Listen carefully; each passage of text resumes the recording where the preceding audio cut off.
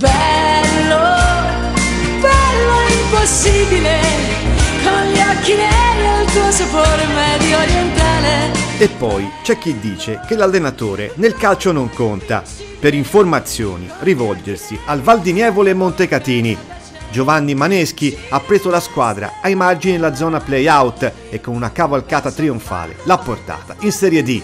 Ha vinto grazie ad una squadra che ha saputo ridisegnare nel mercato di riparazione, prendendo i giocatori giusti, nel posto giusto, trovando in Andreotti e Lasheb due uomini decisivi in fase finalizzativa, trovando il giusto assetto anche in fase difensiva. Vince meritatamente il Valdinievole Montecatini, vince sbaragliando tutti gli avversari, potendo festeggiare con due giornate d'anticipo la promozione nella Serie A dei dilettanti.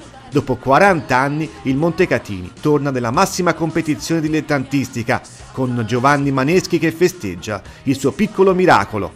Da oggi e a tutti gli effetti, Mister Eccellenza!